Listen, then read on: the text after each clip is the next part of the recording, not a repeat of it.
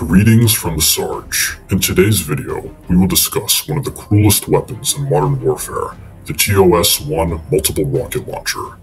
Mounted on a T-72 tank chassis, the TOS-1 launches two types of rockets, incendiary and thermobaric weapons. Just in case you don't know what these warheads are, a thermobaric warhead, or a vacuum bomb, is a type of explosive that uses oxygen from the surrounding air to release a large cloud of flammable gas, which causes an enormous explosion.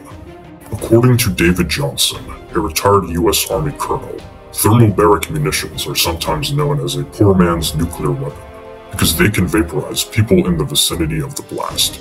If you somehow survive the blast, you'll be left with severe fourth and fifth degree burns.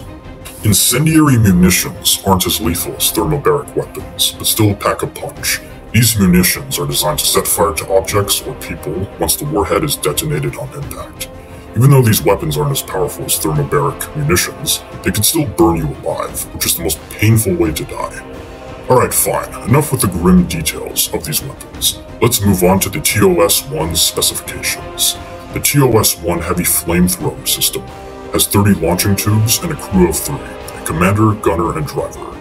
It has a relatively short maximum firing range of only 3.5 kilometers and a minimum range of 400 meters. The vehicle is powered by a V84-1 diesel engine, developing 840 horsepower. Like the tank itself, the T-72 chassis is protected by composite armor. The TOS-1 is intended for direct fire support of advancing infantry as well as main battle tanks. It is designed to target military personnel, fortifications, and light armored vehicles.